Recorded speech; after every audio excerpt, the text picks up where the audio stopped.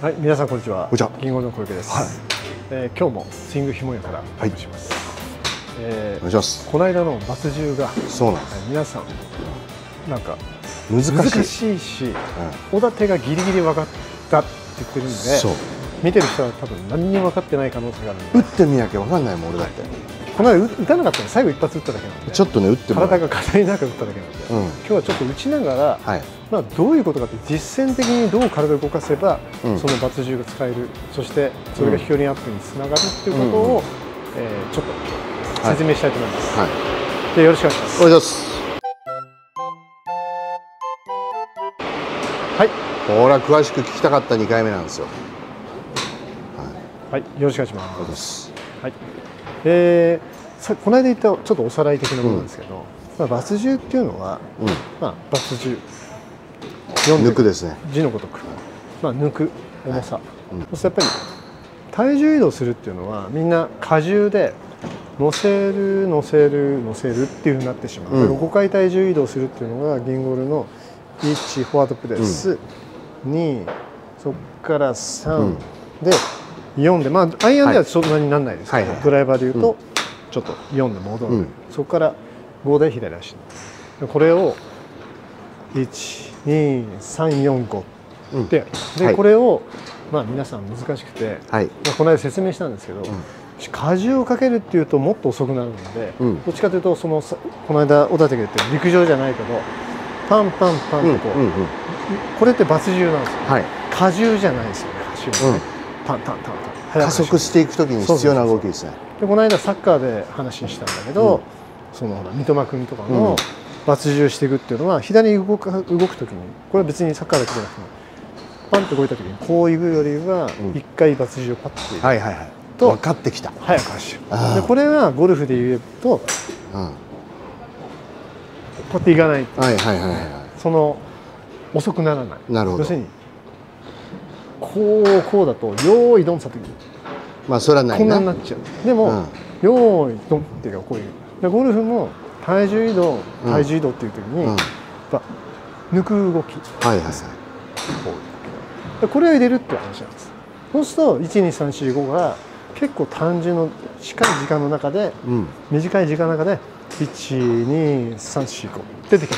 そうか、口頭の中でチャーシュー昔はよくチャーシュー麺あったけど、はい。12345って言えばいいんだね。そうです。今までだと12345ってやっちゃうとおかしくなる。そうですそうです。で悪い例っていうのは、うん。さっき言ったようにその体重の移動が、まあ、悪いというか大抵みんなフォワードプレスもしないじゃないですか、うん。そうすると12で終わっちゃうじゃないですか。ああまあね。でこれが実際に打ってるの見せるとうん。難しいんですよね、まあ使っちゃうじゃん。悪い例って。あそのままのまま要は悪い例できちゃってるから。こういう感じかな。そうだね。そう。まあでもなんとなくそう。なんか飛ばそうとして小池と違うってのは分かる、まあ荷重をかけるって言った時もこれでももうダメなんだけどここがピークになるんだよはいはいはい。それでここが左のピーク、うんうん実際はここピーク、うんはい。ここ左足ピーク、じゃないですか。でインパクトは右に乗ってくるそうするとこれが一緒になるのがだからオーバースイングの人にも多い。ですよ、うんうんうん。トップ行った時に体重とクラブが同じ動きするとやっぱ止まらなくなるじゃないですか、なるほどでも行って先に行ってる状態から今度は抜重して左側に入ってくる時っていうことはクラブが引っ張られてくるので、うんうん。よく最近引っ張って引っ張ってって言うじゃないですか、うん。でも引っ張ってるんじゃなくて、うん。やっぱ結果的には手を使わなければ、こうはい。左足乗ってくれば、手は引っ張られてくるうん。何か引っ張る時に手でうんこう引く動きを勘違いする人いるんですよ、間やったよね。そう。引いて引くっていうと、うん。引っ張っちゃって引っ張っちゃう人いるんで。なんかね今結構博士の抜重を聞いてはい。5回の5回の体重移動を混ぜて俺が感じたのははい。12でしかできない。まあそれが今までのなんとなく右体重。そうすると何が起きるかって結局ひねりができないんじゃないかと思った。その上半身とほら要は抜重とかそのまあ今日ばあの前回から博士の抜重と5回移動あるじゃないですか。あれがないと12って要は上半身下半身同じ。あまあそういうことですこれが2ですね。はい。5回あるからこういうねじれが生まれてあのごあの体重移動ができうまく体重移動ができてクラブが走るのにこの体のねじれとか昔博士が言った広背筋とか使えてくるための5回ですよね。でそれ見せてください。何を？あのえ？グまあ普通に言ってください。ちょっと。あバツあのい今までの普通だと普通に普通に素晴らしい。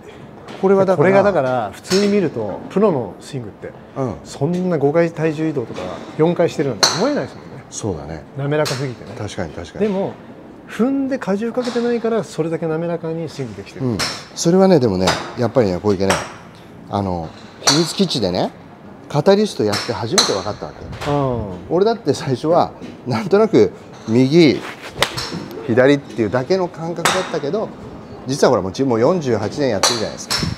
だから5回できてた。あ半世紀だできてたけどまだ足りない部分があったじゃない？ブレーキングフォースとか、はい。まあ細かい。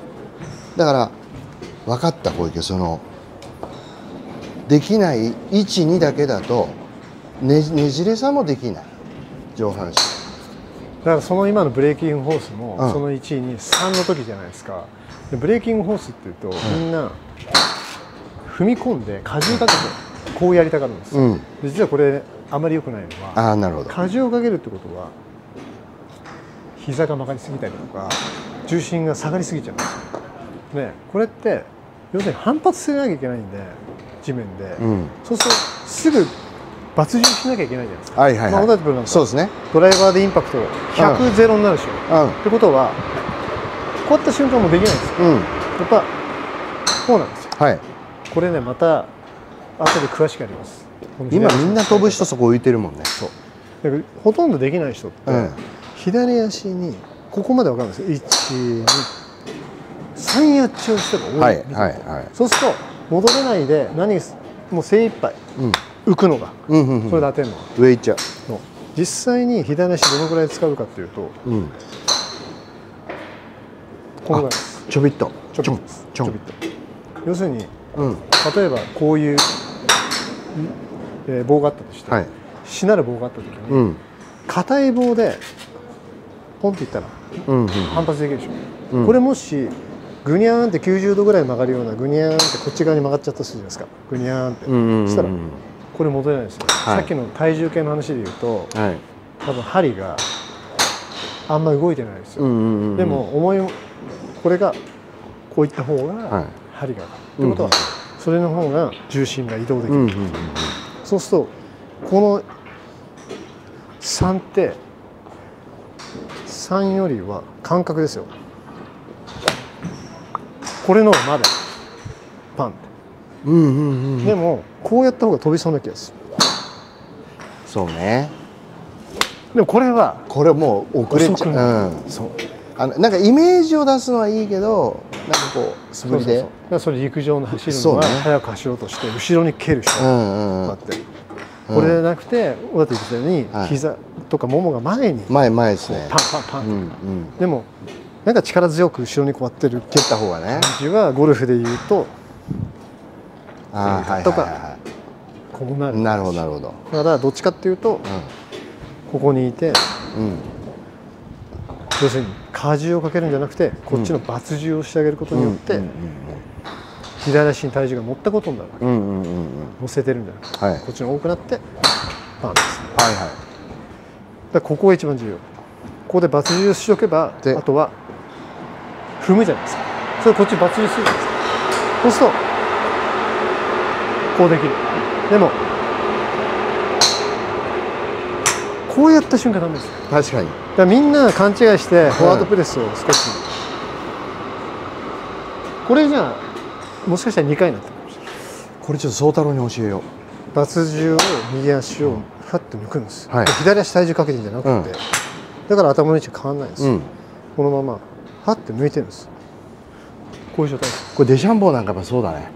完全にそうですね。ね。見てると。だから動かないんです、確かに。そう。でもすごい体重移動ができてる、うん。こうやってファッて抜く。抜くとうん。反発できる。はい。踏める、そしたら左が抜重できる。うん。この動作を一瞬で。そうか。そうか。よく博士がパタパタ言ってたけどそのパタパタの中にバツ銃が実はあって。そうそうそうそう。だから重心って例えば5050だとしたら、うん、こっちを抜重したらこっちが100になるんですよ。ああなるそうだね当然そうだ。みんなの考え方はうん。5050だとしたらこっちに体重かけなきゃいけないっていう、うん。こっちにあと2 3 0かけたくなる、うんうんそうはい。スウェードが重心ができる、なのでここで要するに高いとこ飛び降りたみたいに、うん。あって落せばいいそのためにはあの水の中でプールの中で、踏もうとした時にふわーっと浮くじゃないですか、はいはい。あの状態の一瞬空中に浮いてあげるなるほどね。だから左足ってあまりうん。フォワードプレスした時山は出るけどそんなグッて出ないですよね。単純に右の配分の方が多くなる、はいはいそうこのはい間言ったみたいにスピードのあるバックスイングがだからみんなやっぱりそれがそのアメリカみんなその速くなってきた。そう理由もありますか？バックスイング。速くなってきたっていうか昔から日本のプロの平均とアメリカの平均って30年前から何秒な 0. 何秒？違う。速い。なるほどね。でも日本は林芳雄さん速かったよ。速かったです。はい、でもだから速い方があジャンボさん当然第一章。速いし。ジャンボさんも速いですめっちゃ速い。そうですよね。なんで速い方がいいです。うん。ただやっぱり日本の風習じゃないけど失敗すると速いよ速いよっていうのあそうがね。なんで遅くやるとうまくいくかっていうと、うほとんどの人がプレーンがブレてるわけ。でもそのまま速く打ったら振れないじゃないですか。でもこんな人でもここで一回止まればうん。修正できるわけ、んはいはいはい。そうですね。こんなになってもここからうパンって。んジョン・デイリーがそうだったじゃん。でもうん。速く振れる人っていうのはプレーンがうん。相当一枚の円じゃないけど。はいはいはい。こうやって速く振れるってコンパクトに速く振れるっていうのがうん。あのジョン・ランもそうだし、うん。やっぱりプレーンがまずいいスイングしてる。だから、いいスイングにならないと速くできないし、ん。だからゆっくりに頼ってると良くないと思います、そうだね。ただだから松山君とかうあ。の代表的にやっぱり宮里藍ちゃんとかも、んはいはいゆっくり。ゆっくりじゃないですか、ですね。でもあのゆっくりってやっぱりアマチュアの人にはなかなかあれで飛ばすっていうのは逆に難しいね。相当なパワーが必要。あとねじれを待たなきゃいけないし。でここから作らなきゃいけない。んで、そうまあ実際ジュニアがああやってゆっくり打ってくださいって飛ぶ子がいないんですよ。あのジュニアほど速いです、速いね。そう。速いそれはやっぱり飛ばない。そうじゃないと飛ばない。そうかそうか。アメリカツアあーの選手もやっぱり平均的には絶対日本人。より速い。のなんだろ抜重ですよね。うバン。あの渋野さんとかね、はや速いじゃないですか。速い。ですであのアマチュアのみんな先輩方もできないと思っちゃうけど実はあれの方がバツその足のねうまくできてくれば、そうそうそう実は簡単でもあり再現性高い。そうそのためにはうん。ドスンドスンドスンじゃなくてうんうんうん。こっちを抜く抜く抜く。はいはいはい。抜く抜く抜く。うんどんどんどんどん低いところに右足を向けば抜く抜くってこう。そうすると早くこれ極端だけど今ぐらい早く。そうだな。そうだね。なんかタイガーもデビュー当時よりもだんだんだんだん速くなっていったのはやっぱりその技術その足の使い方の進歩によって速くなっていった。なりましたね。タイガーデビューの時の昔めっちゃ遅かったです。ビョンあれね遅くても愛ちゃん俺が思うに愛ちゃんもそうだけど腰のキレが半端じゃないじゃん。そうですね。だからは打てるですね。あれ逆にアマチュアの方が難しいですね。い難しいです。あの腰のキレ。要するにでもそのトレーニングもやるじゃないですか。トップでうん。こっからうん。1ミリも動かさないでで打ってください。やったじゃないですか。はいはいはいうんでこれアマチュアの人は絶対できないですよ。できないですね。なんでかっていうとやっぱりいつもゆっくりの反動で打ってるうんうんうんうん。でもプロって速いってことはいったものがこのままこう入れる。わけうん。そうするとこういう反動で打ってない。うん。例えば2回の体重。やっぱりどっちかというと抜重したらすぐ抜重だからうん。ここでそれができてる人っていうのはここで止める。止めて。うん上に1ミリもここから動かさないでこう打てるわけ。すげえやこれ。でもこれはなんで打てたかっていうと、はっきり言ってバツ重です。そうですね。はい、左にこう言ってるわけじゃなくていやないですね。こう乗ってたの？をこうや抜いてるはいはいはいはいはい。はいあれもそうあなんかねまあちょっと話それちゃうんだけど、はい。スキージャンプの、あの飛び上がる瞬間もなんかふわって見えない。いやあれは絶対そうっすよ。天才的に。だってカタリストって最初スキージャンプから来たの。言ってたね。そう。ゴルフじゃないスキージャンプだ。そう。あれで重心の位置をどのくらい風かってるか,、はいはいはいはい。そうだ。だから何でも言ってたもんね小池が重力をうまく使ってその荷重かかるところに目が行きがちだけれども、うん。実は抜いてる抜き方が上手い人がうまく足が使える。あれなんかほら力むと失速するっていうもんね。だからゴルフもバツ重使わないで荷重で打ってる人っていうのはうん。すっごい力任せに打ってる。でもそうじゃない人っていうのはだから子供たちができてできあのだから逆に言うと腕力とか体の強い人ほど気をつけなきゃいけないってことですね。そうです。はい。今日さらにクラシックやったんでこの間の分かりやすく言ったつもりが、はい。さらに難しくなってしまいました。あのねやっぱり俺前回から聞いててなんあのだんだん難しい俺でも難しかったんで分かってきました。なんとなくこう今日頭の中で、ね、ちょっと2級ぐらいバツ重バツ重というかまあ小池の？できてるんで。普通の。みあのやっぱり見て見たいと思うんで。ああもうやっぱり球は全然回んねえもんな、まあ、体があんまりこうこうやって揺さぶってる感じないですね、うん体重移動してんのかよっていうぐらい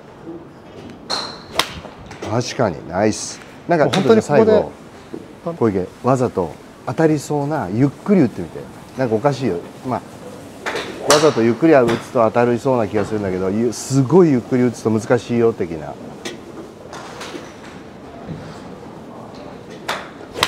うわすっこれまあごい無理だがね。こうやってやったら、ね、足のタイミングバラバラになる。先生もう今なんか足使えなくて。確かに確かに確かに。うんうんうんうんうん。だから練習としては、うん。あのバツ重を練習したかったら、うん。小さいスイングでノックダウンじゃないけどこう上げてったものを小さくしてここでここでバツ重ですね、はい。バツ重で。あなんかのこういう感じ。昔博士が言ってた連続素振りしてくださいって言ってたじゃない？こっちに振ってからこう連続素振り。あれの返ってくるスピードぐらいでいいですか？バックスイング。いいと思います。